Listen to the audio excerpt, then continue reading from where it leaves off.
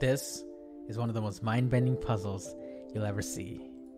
In this position, white is up a rook and a bishop, but black has these weird double pawns that's just about the queen. White can't really stop it because the rook can't go here and the bishop is in the wrong color. So, how does white win this game? The answer is look for checks that alter the position in our favor. So there are three checks in this position bishop here, check, bishop here, check, and rook f7. I was trying to solve this puzzle a while ago, and I first thought about rook f7 check. Unfortunately, after king e8, we don't have time to go all the way down because black is going to queen in one move. So I crossed that off my list. Then I thought about bishop c6 check. This seemed pretty clever because if you go down here, this is actually checkmate. And if black goes anywhere on the e-file, we can do a fork, and this gives us enough time to win both pawns. But I didn't stop there. You always gotta look for tricky defenses. After this check, black has the amazing king d6, seemingly giving up, but keep going.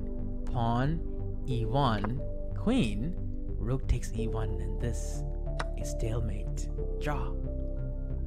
So I had to cross out bishop c6. It almost worked though. What is left to be played? We have bishop f5 check.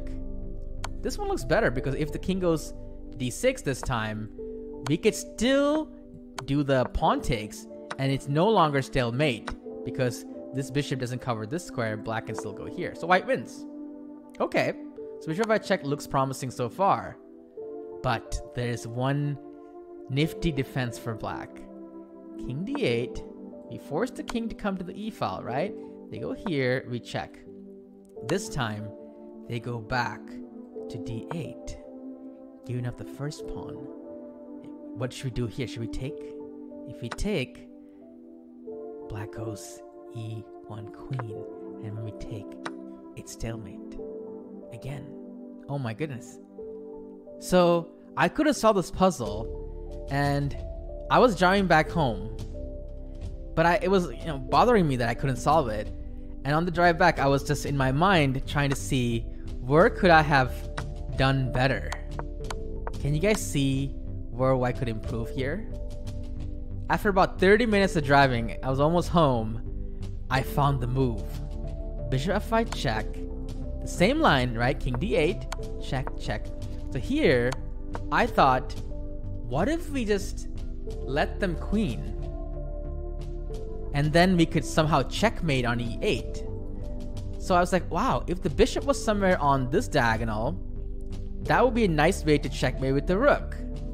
But I don't have enough time to go here because he's gonna queen in one move, right? So if I go here, here, and here, if I had one more move, even if it was black's turn, black has no checks, and this would be a checkmate. Then I had a eureka moment. White should play bishop d7. A brilliant move, giving up the bishop. It doesn't matter if the bishop can be taken, because then it's no longer stalemate. So, black queens, and now we play bishop b5, shielding the king from all the checks. This pawn works for us.